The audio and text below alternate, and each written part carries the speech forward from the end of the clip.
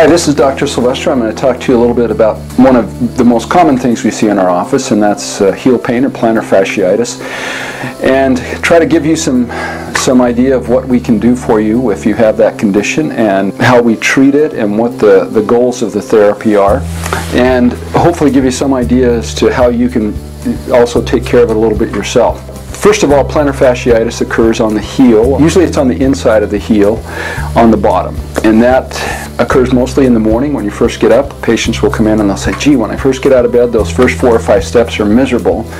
And then after that, it loosens up a little bit, feels okay for a while, and then maybe usually by the end of the day, it starts hurting again.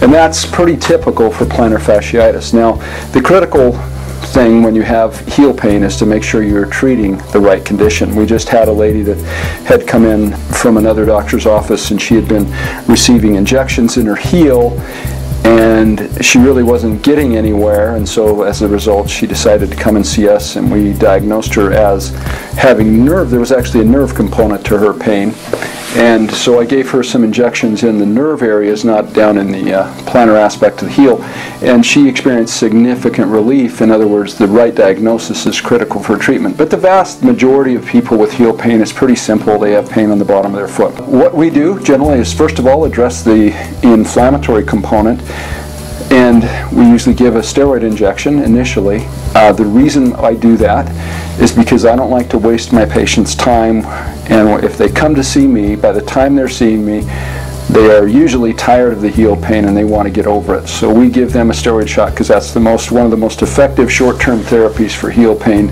available. The second thing we do is we give them an arch support. That addresses the cause, the way their foot functions. That'll help uh, kind of align the foot so that the ligament on the bottom of their heel doesn't have to take so much stress and so much tension. The third thing we do is we give them some physical therapy which consists of stretching exercises and ice.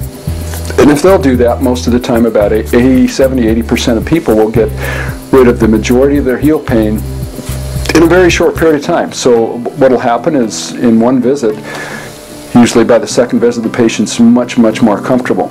Now, some people don't fit that criteria. They have more severe symptoms and they need further treatments, and we have kind of a, a stepwise ladder of protocols that we use to address those problems. And so things that we do that's different that, in that from other clinics that, with heel pain. If the heel pain doesn't resolve initially, we have a, a modality here that we use called uh, cryosurgery where we freeze the plantar fascia. We have radio wave surgery that we can do that's all done through pinpoint, you know, just needle point uh, pr procedure and that's been proven very effective for uh, treating plantar fascia inflammation. Uh, there's also some other modalities that, that, we are obtaining in our office, like shockwave therapy. But regardless, we kind of handle a spectrum of surgical treatments if that's uh, needed. Most patients don't ever get to that stage, though. The vast majority of people will get better with uh, just conservative care treating their, their plantar fasciitis. So if you have heel pain, uh, give us a call. We'd love to help you out with that. We feel like we're uh, one of the best places in, in South Texas where you can get rid of that in a very quick in a very quick fashion and usually without having to spend a great deal of money. Thank you very much.